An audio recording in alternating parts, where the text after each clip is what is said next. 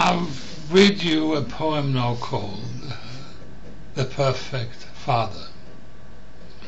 When my children were small, I played with them. I was a good father, carried them, carried them on my shoulders. But when they became teenagers and truculent, I lost all interest in their silly arguments, paid for their education, and went abroad to live in our second home in Spain. My children never fight or ring. Their mother, who didn't came to live with me, says it is because I had forsaken them, me. I paid for their university, used my influence to get them well-paid jobs.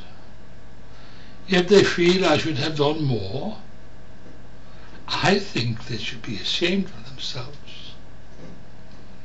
It was me and my actions that made them independent beings who can look after themselves. And I know after I'm gone they will understand. I'm not the cuddly type. But I made them whole. And yes, I think of them often, love them very much. but will not seek their approval. And if anyone of them read this and think the old man has gone soft and send me letters of love, I will, without a second thought, tell them to piss off. My money will go to my second family in Spain.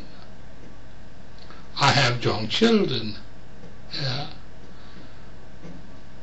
and I carry them on my shoulders every day.